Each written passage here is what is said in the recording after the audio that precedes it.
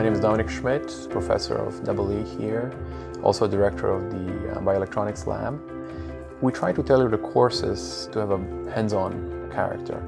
Many, many of the classes here, uh, in fact all the degrees, require projects that where you have to do stuff on your own. You have to build things, design things, test them, like build a smart car uh, controller or a power meter that connects to the cloud, or in our case, a glucose sensor, where you actually design and build real things that have commercial use.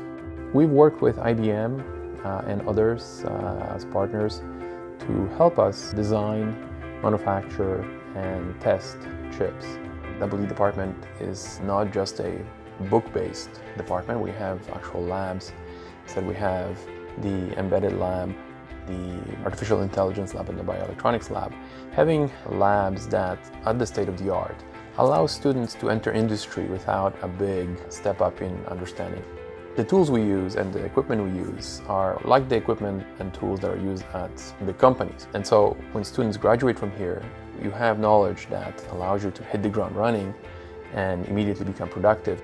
All the professors in EE are PhDs, many from top universities with very experienced many years in industry. It's not just academia, it's companies like Intel, uh, Xilinx, uh, Google. Being able to offer that experience and share that with students all combines uh, for a great experience as a student here.